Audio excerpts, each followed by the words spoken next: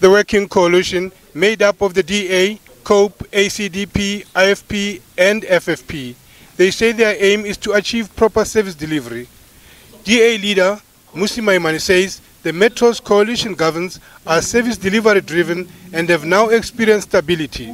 When citizens look up, they must realize that their future, as we are demonstrating in cities, that you work hard every day to have mutual accountability, to ensure that each party has its own identity and it works to its own principles, but where we can agree on things that we can do, like putting citizens first, like passing budgets that work for everybody, like ensuring that there's work for people and that our people are safe. This is the coalition that is working to achieve that. We put our people first. So, what um, the, the, the, the, stance that we took as the city of Johannesburg is that whatever challenge that we come across as the city of Johannesburg, we will communicate it with our residents so that they understand where we come from and then they understand what is it that we want to do in order to make uh, better uh, uh, their lives. The Freedom Front Plus decried the issue of non-payment of service. That that's a major problem because uh, nationally uh, the figure says that more than 110 billion rands in arrears of service delivery monies uh, that has a tremendous influence on the performance on any uh, local government.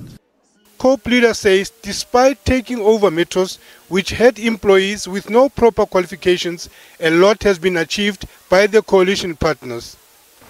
COPE and the ACDP voiced their concerns regarding illegal foreign nationals. Most of the people in the cities occupying the buildings and all of that are people coming from outside the country. We're not xenophobic. But it can't be that any country that is concerned about its own citizens can leave its own citizens out there and open the best available, the best positions nearest to the jobs, and fill them up with people who come from other countries. We do have a problem in, in the city of things like hijacked buildings, um, which lead to drug trafficking, child trafficking, woman trafficking, um, and those kinds of things because the buildings themselves, people are kept captive there. And that happens um, a lot. There was a general consensus amongst partners that the fight against corruption should be a priority.